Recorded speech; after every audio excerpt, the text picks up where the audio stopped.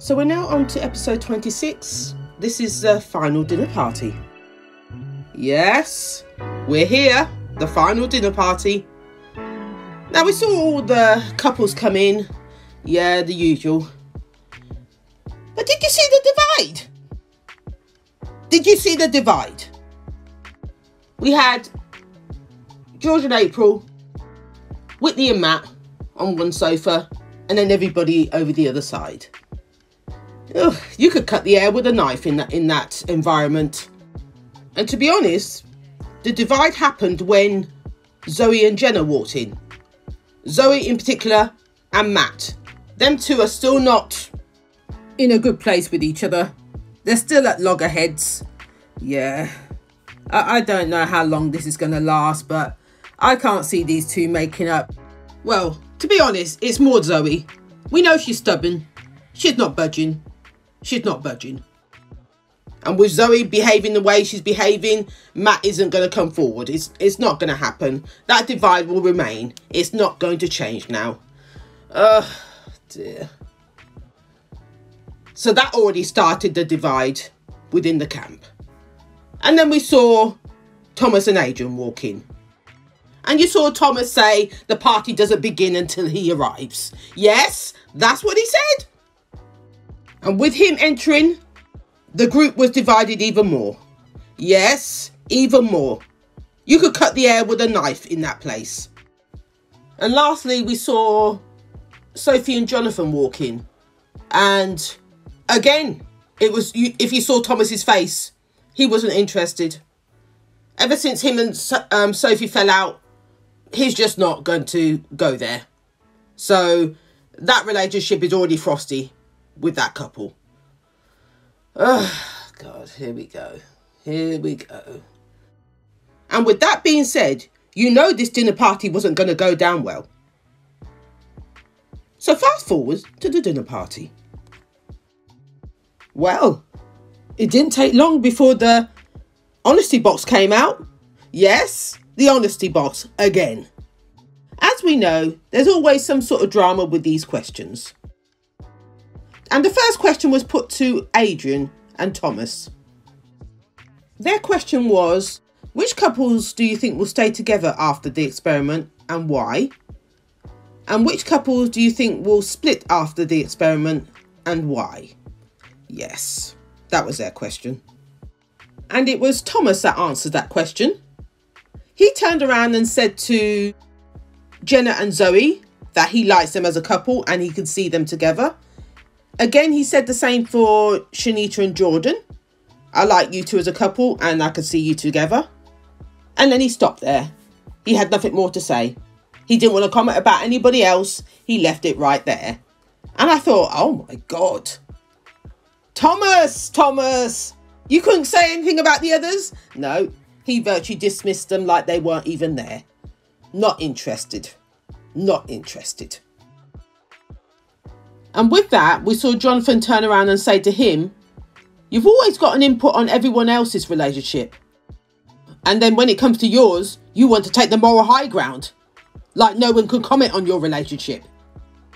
So it's one rule for you and then another rule for us. That's really what he was saying. On this occasion, I have to agree with Jonathan. I don't no- normally agree with him, I don't. There's a lot of things about him, I, I mm-mm, no, it doesn't work for me. But on this occasion, he had a point. And with Jonathan saying that, we saw, what's his name? George. George turned around to Thomas and told him to, to be quiet, to be quiet. Let him speak. As in Jonathan. Let Jonathan speak. Because Thomas kept interrupting him whilst he's trying to put his point across. As usual, Thomas doesn't want to hear anybody. And again, George was trying to tell him to shut up. To shut up! Listen! Listen, he said. Yeah. And then the rest of the table started to have their little input. So that conversation got a little heated for a moment. We also saw a point where Thomas told, no, Adrian told Thomas to, to calm down. And Thomas says, don't speak to me. Don't speak to me. And I thought, what? Thomas is so rude. He's so rude. And Adrian puts up with this shit. Oh, hell no. Oh, hell no. We also saw when George and Thomas were toing and froing with each other, George turned around and called in an effing prick. Yeah, he called in an effing prick. And you saw his wife, what's her name again? April, tried to say, No, George, we're not doing this. You're never going to have to see him again after this. Just calm down. Just calm down. And I get her point. But it was just getting too much for him. He's been wanting to explode from the beginning. Weeks on end, he's having to put up with this entity over here. Yes, Thomas. He's having to put up with his crap. And every dinner party is the Thomas show. But this time round, as April said, you're not going to have to see him again after here. We're not going to have to see him again after this, so let it go. Eventually, the table did calm down. And the next question that was asked was with Shanita and Jordan. And it was Shanita that asked Jordan, When did you first know I was right for you? And his answer to that was virtually when she walked down the aisle. They were able to laugh and joke about the whole situation, and he put her at ease and she put him at ease. Yeah, it was in that moment he thought, yeah, we're good. We're good. And then his question to Shanita was, What are you most looking forward to after this experiment? And her answer was really all about the plans they have they were making that they're planning to do, go on trips, meet up weekends, all the relevant stuff to keep the relationship going. Yeah, so that was her answer. The next couple to answer their question was Jenna and Zoe, and it was Jenna that asked Zoe, Will your fear of commitment be our biggest hurdle? Something like that, she said. And when I heard that, I thought, hang on a minute. Commitment? Fear of commitment? Since when have I heard that? Throughout this whole experiment, I don't remember hearing those words about Zoe. That she had a fear of commitment. That's a first. Or did I miss the memo? Did I miss the memo? Anyway, her answer to that was that she's thrown herself into the experiment and she's trying to be vulnerable. That was her answer. Yep, then, when it came to Zoe asking Jenna, it was, What one thing would you change about me? And Jenna's answer to that was, Maybe your stubbornness. And Zoe agreed, to be honest. She did agree. She said, I'm working on it. And then Jenna's answer to that was, I can see you're doing that, and I feel we'll get over it. Yeah, we'll, we'll be able to get over that hurdle. And that was it. So, moving on, we then saw a small conversation that took place between Thomas and Adrian, Zoe and Jenna. And it was Thomas saying to Zoe and Jenna that you are the most genuine couple in this experiment, as well as Shanita and Jordan. And he wishes them the absolute best. Yeah, that's what he said.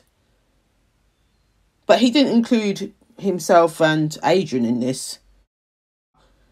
During that whole dinner party with the questions that had been asked so far, you could see Thomas's face was looking very much like, why has everybody else got this lovey-dovey thing going on and me and Adrian haven't?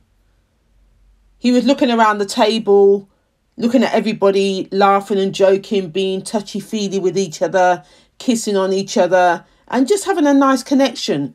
And he just doesn't have that with Adrian. And then this is what we saw next. I'm looking around the table and I'm seeing it how happy everyone is and I just don't feel that. This is not where we're now. We're not love. We're not love. After that, he turned around and said that he needed to talk to Adrian. They need to have a conversation. Because this isn't going anywhere. We know it. He knows it. We all know it, except for Adrian. So, what we saw next was Thomas say to Adrian, Shall we go for a chat? So, Adrian agrees to go, and you see them both go outside and sit down and have this chat. You know, in in my mind last week when I wrote leave, it was because it wasn't going any further. I just wanted someone to love me, and I too. wanted someone to be with me forever. At last week's commitment ceremony, where Adrian got Thomas to change his mind, I knew nothing was going to change. I knew it. I knew it. So here we are. Thomas trying to break it to him the reason for him saying leave last week. You know, looking around at the other couples and they're being intimate and we're not. And I didn't feel like we can go to the final vows when we've got so much that we still need to work on. I couldn't have said it any better myself. Thomas is very right here. Adrian's just clutching at straws. No, we- we're not going to do this. We're not going to do this. We're not going to prolong it any further. It's been dragging for weeks. So le- let's let's just let it go. Let's just let it go. You mean the whale to me? Yeah. But just because we love each other doesn't mean we're supposed to be together.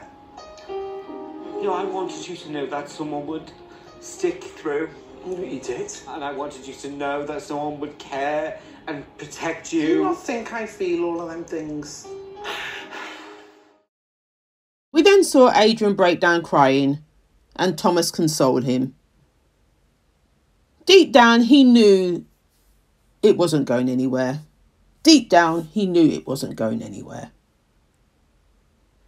So you saw these two come back to the table and make an announcement. To cut a long story short, they said to the table that they will not be taking their relationship to the final vows and that they will be bowing out gracefully. Yeah. In hearing this news, some of the table were in condolence with them. The rest of them were not bothered. You saw their faces, they were like grinning behind their glasses of wine, thinking, oh, thank God for that. Oh, thank you, Jesus.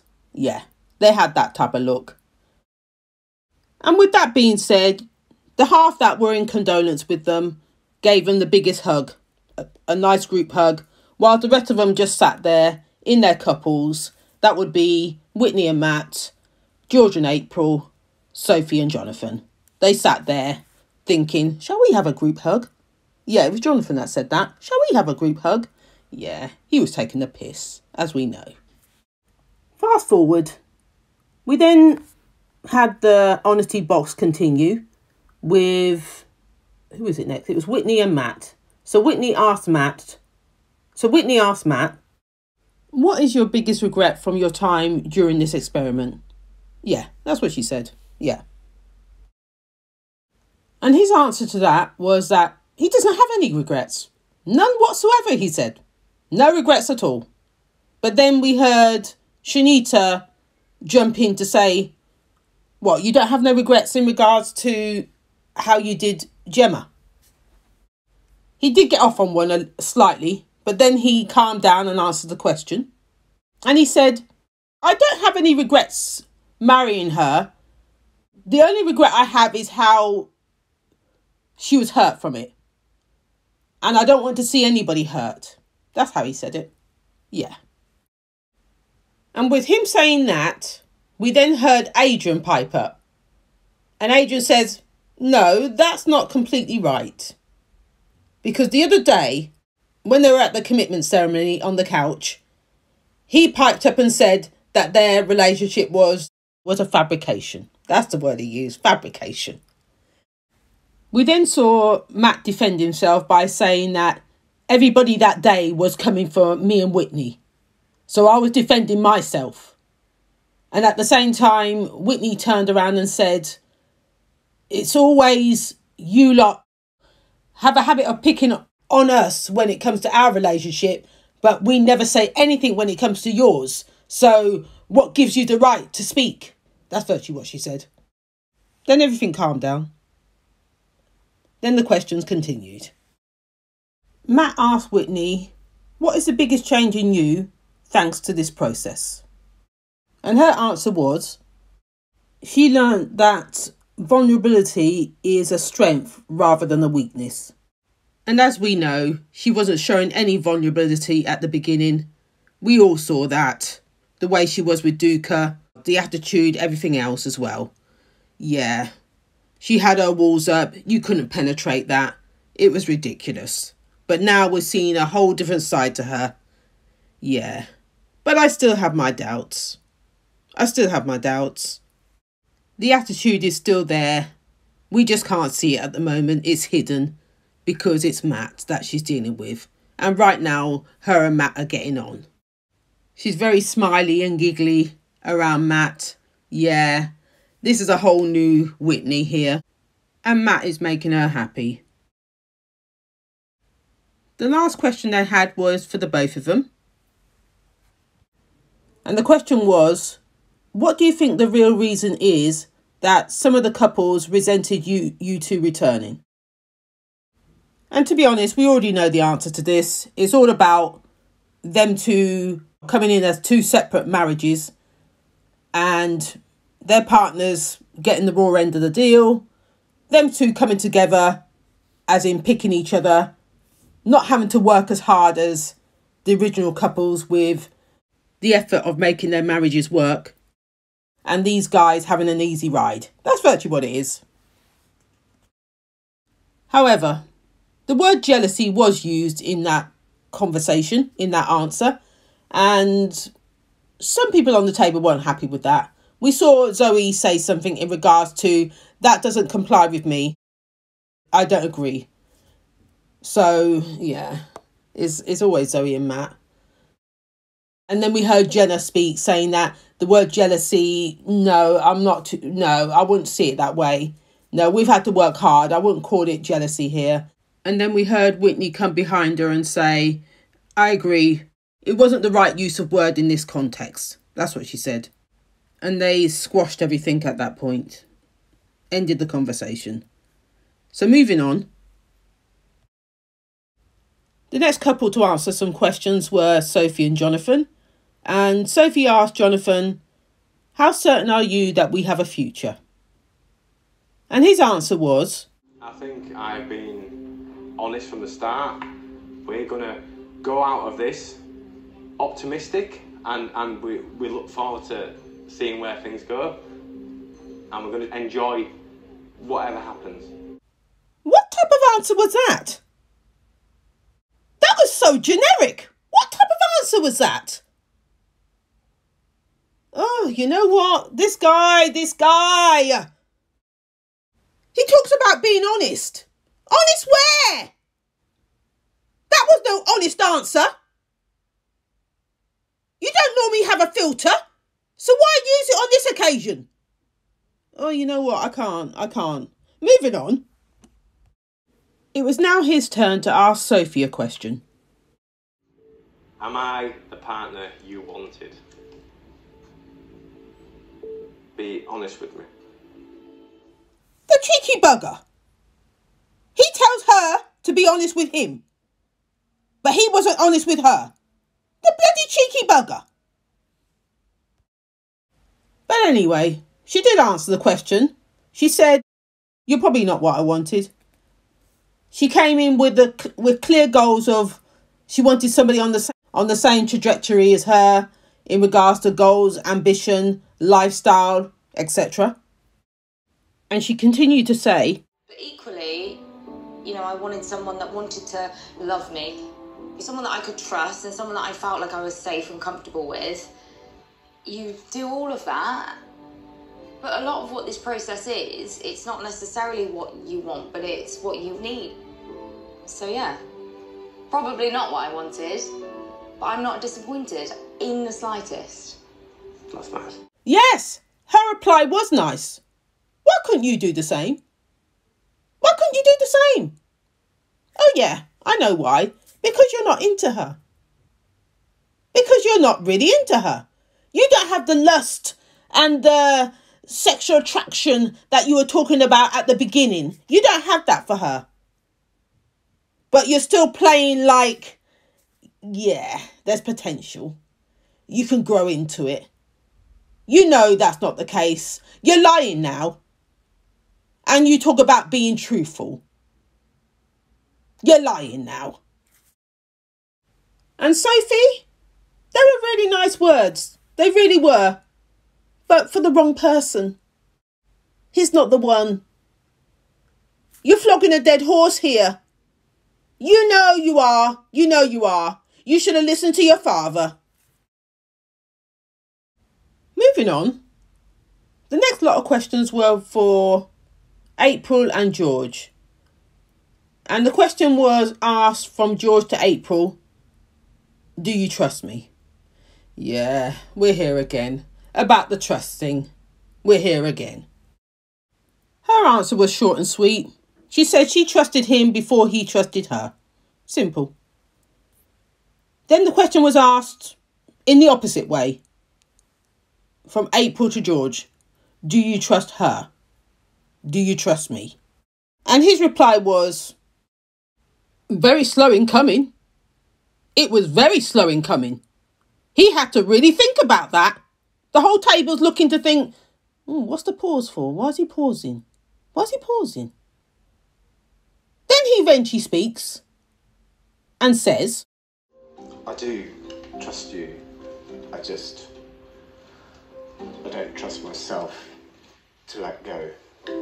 I, I will be patient as long as you need me to be. I will. Again, we saw George get emotional. The trust thing is still an issue as far as I'm concerned. As his mother said, it's not about the kids that are the problem. It's you, George. It's you. So we, we know he's got issues here. Uh, and I'm, I, I hate when my girl, what's her name, April, keeps telling him she'll always be there, she'll always be there. Oh, please stop promising.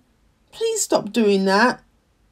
He's going to fall down with a big bang if it doesn't work out. And that's what upsets me about this whole you promising you'll be there, I'll always be there, George. Stop it. Stop it. Anyway, just to bring it back, the question was then asked of the both of them who is the fakest couple on this table? Yes, that was the question they got. Who is the fakest couple on this table? There was some hesitation. Eventually, we heard Thomas speak up and say, I'm not going to take offence if you think that we're the fakest couple on this table. Not going to take offence at all, he said. And I was quite surprised by that. I thought, oh, is that you, Thomas? Is that you, Thomas, speaking? So eventually they turned around and said, okay, you and Adrian. Yeah, that was their answer. Thomas and Adrian. But then we heard April say the only reason why we picked you was because of what Matt said at the commitment ceremony. Yeah. About their relation being a fabrication. Yeah, we're there again. We're there again. And with that being said, you saw Adrian this time pipe up and say, "Yeah, let's let's just clear that up by the way. Let's clear that up by the way." Oh, he was on one. He was definitely on one now. Because I think he just wanted to get a few things off his chest before he left that day. Before he left the process, he wanted to get a few things off his chest. And that's what we saw next. If there's any one person in this world who is going to tell me that I didn't work my ass off, it most certainly will not be someone who didn't give his a day. So, as far as I'm concerned, your feelings do not matter No. to me. Well, as you can see, Adrian wasn't playing. He wasn't playing. And the good thing I like about Adrian, he only speaks when he's really got something to say. And he's very good at articulating what he has to say. But as we know, this is Married at First Sight. The program's not a program without drama. So here comes the drama. I'm not interested in any. You've Thomas, you're not interested in fucking nothing but yourself, you arrogant. No shouting. No shouting. No, no, no, no, no, no, no, I'm fucking big sober balls today. sit down. Don't shout. Don't fuck, who the fuck are you talking to? Can we all just stop this You're a shit? fucking joking. I know, and you're a massive joke. G.I. fucking joke. Jesus Christ, just stop it. No one was going to be able to calm this rabble down. It wasn't going to happen. Even George trying to quiet everyone down. George, sit down. Just sit down. Just just just let it happen. It's been brewing for so long. Just just let it happen. Adrian's just had it up to here. He's just had it up to here. Let him blow. Just let him blow. I actually thought you were more articulate than this and more I of am an very intelligent man, articulate. but clearly you What? are. Do you know what, Whitney? Do you know what the tiny little bit that makes me kind of sad is we've had so many conversations. Yeah, we've had like two conversations, but yeah. Fucking bitch. You know what? Fuck off. Who the fuck are you talking to, lad? Nah, I don't Of want to talk course to you don't. Fuck Of you off. don't, 'cause now you're Right, threatened. Oh, hang on. Go on then. Now you're Go on threatened. I- I'm Well, shut up threatened. You tell me how I'm threatened. Go on then, mate. Go on. As you can see, Adrian wasn't backing down. Not today. Today of all days, not today.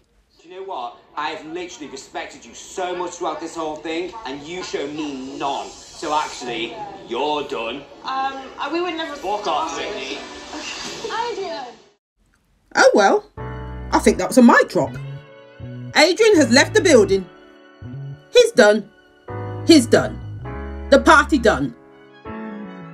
So on that note, this is where I'm going to leave it.